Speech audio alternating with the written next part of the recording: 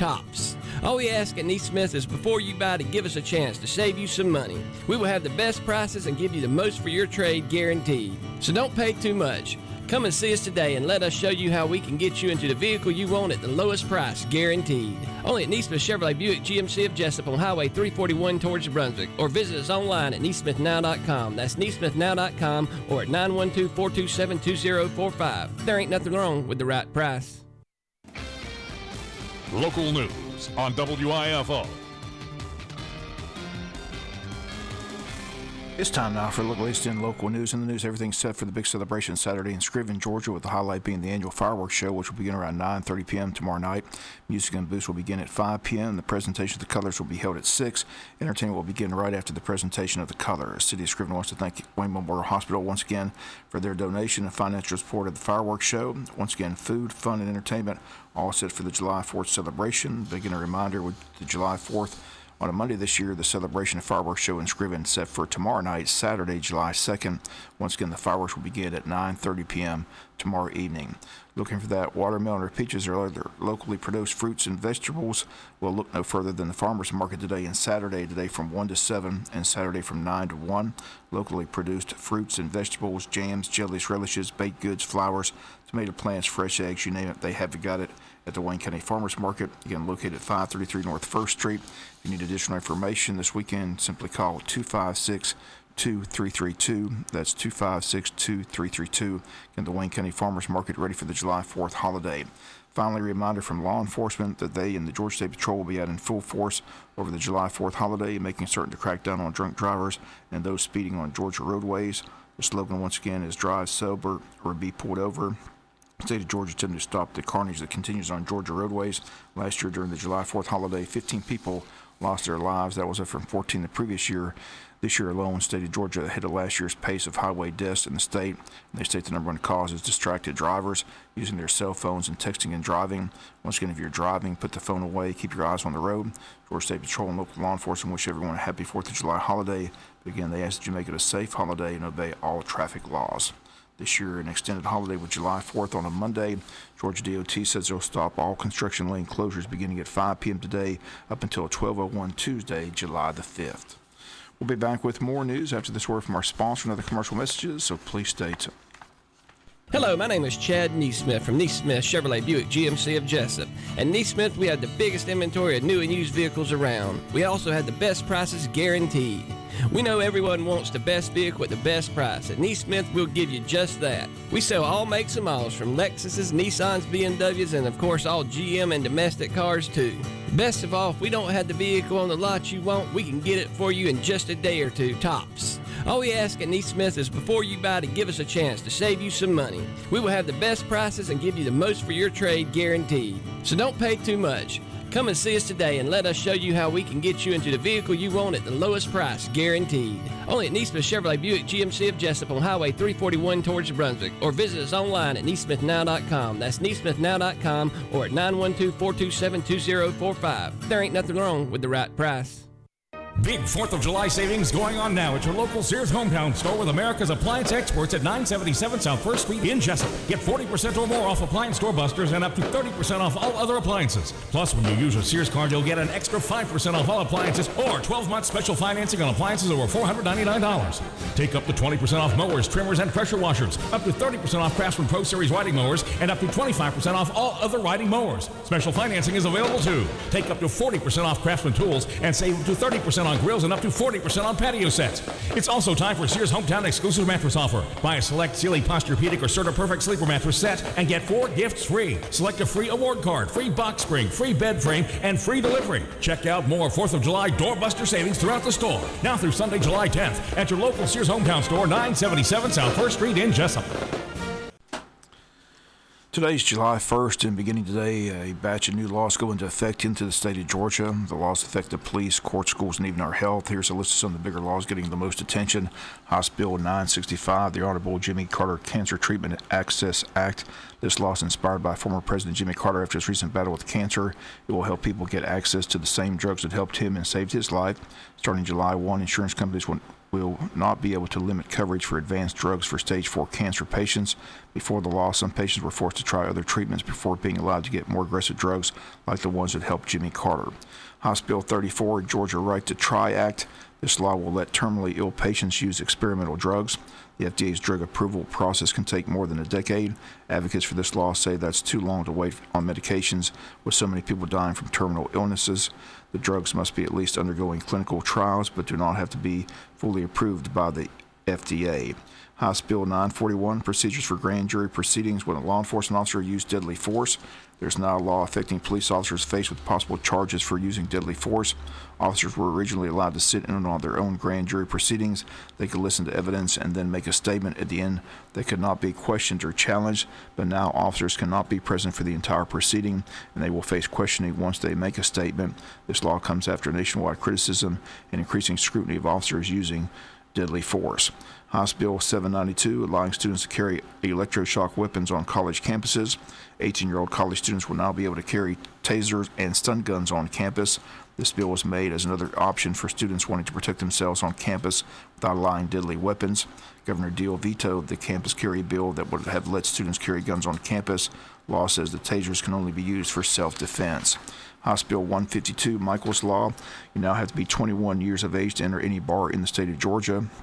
Bouncers and bartenders will also have to be 21 to work in a bar. It's called Michael's Law, named after 18 year old Michael Gatto, who died after he was assaulted by a 20 year old bouncer soon after Michael started college. The only exception is if the person under 21 is accompanied by a parent, guardian, or spouse who's at least 21 years old. They can also enter the bar if they paid to see some type of concert or performance at the bar. Governor Deal signed the law to also combat underage drinking. It passed last year, but Governor Deal gave bars a year to prepare for the change. And Senate Bill 364 revises state mandated test and teacher, principal, and assistant principal evaluations. This law reduces the number of state mandated tests allowed. It will also lessen how testing results can influence teacher evaluations. That means tests will drop from counting it as at 50% of a teacher's evaluation down to 30%. This law is even more significant with all the controversy over the Georgia milestones. Again, those just some of the laws that were passed by the legislature go into effect beginning today, July 1st. We'll be back with some final news notes after this word from our sponsor and other commercial messages, so please stay tuned. Hello, my name is Chad Neesmith from Neesmith Chevrolet Buick GMC of Jesup. At Neesmith, we have the biggest inventory of new and used vehicles around. We also have the best prices guaranteed. We know everyone wants the best vehicle at the best price. At Neesmith, we'll give you just that. We sell all makes and models from Lexuses, Nissans, BMWs, and of course all GM and domestic cars too. Best of all, if we don't have the vehicle on the lot you want, we can get it for you in just a day or two, tops. All we ask at Neesmith is before you buy to give us a chance to save you some money. We will have the best prices and give you the most for your trade guaranteed. So don't pay too much. Come and see us today and let us show you how we can get you into the vehicle you want at the lowest price, guaranteed. Only at Neesmith Chevrolet Buick GMC of Jesup on Highway 341 towards New Brunswick, or visit us online at neesmithnow.com. That's neesmithnow.com or at 912 427 2045. There ain't nothing wrong with the right price. Looking for some fun this summer?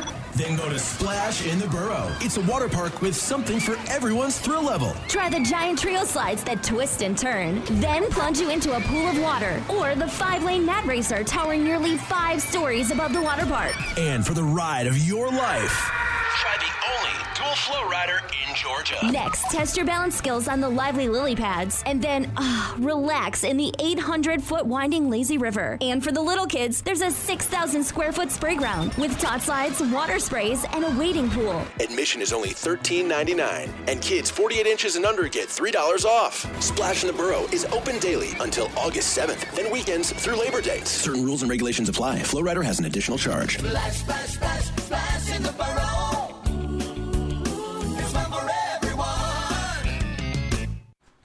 Final notes in the news. Once the July 4th holiday ends, the back to school sales will begin as Wayne County will be about a month away from opening school doors and having classes.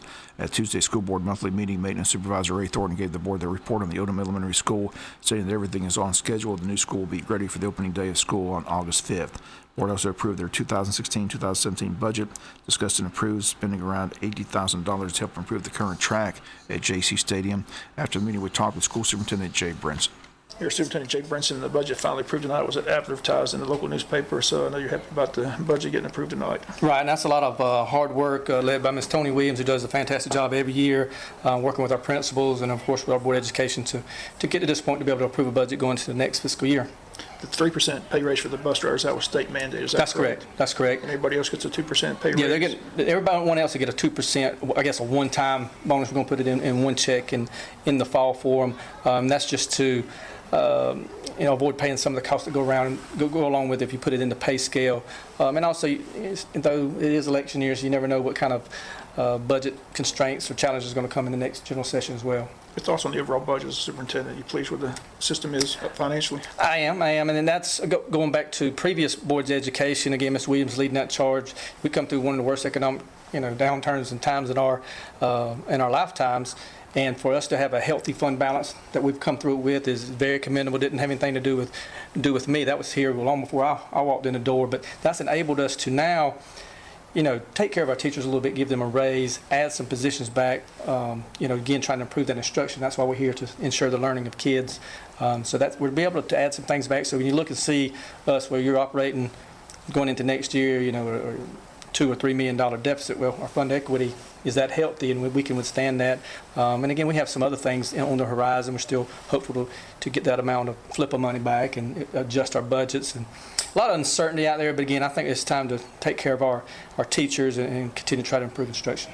Big issue, it continues to be the track. Again, you mentioned the flip of money is coming. If they get that money, which they say we're getting, the school gets like 1.5 million of that. Could they possibly use that for the track facility? Cer- Certainly could, and, and the track is, I, I think everyone agrees, our track is our number one athletic need, and it's really up there as the number one need in our um, school system. I don't know if it's the number one as far as the overall school system, but it's it's up there pretty good, and certainly if we get you know uh, you know a couple million dollars, I, I think we can certainly scope some of that money out to satisfy that track issue and provide something nice for our, all of our student athletes and the entire system. In the meantime, you still want to try to do something currently with the track just to make it feasible. Is that correct? Right, we're not moving away from JC Stadium, Donaldson Madger Field anytime soon, and so that track that we had is just deteriorated s- you know, so so far that we need to do something to maintain it. We spend we spend thousands of dollars every year to maintain some of the athletic facilities we have now, i.e. the, the tennis courts. We've got some of the nicest courts around in this area, but we spend money every year to maintain them. So um, I think we've uh, got some direction out to move forward um, uh,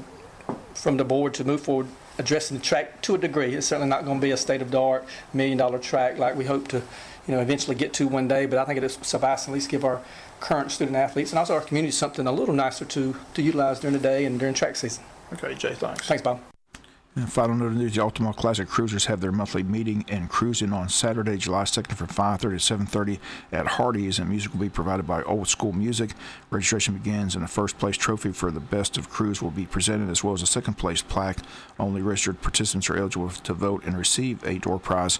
Once again, that's this Saturday at Hardee's from 5.30 to 7.30 p.m., the Altamont Classic Cruiser Show. That's going to do it for latest in local news. Sports coming your way in a few minutes. Bob Morgan said, have a great day. You've been listening to local news on WIFO.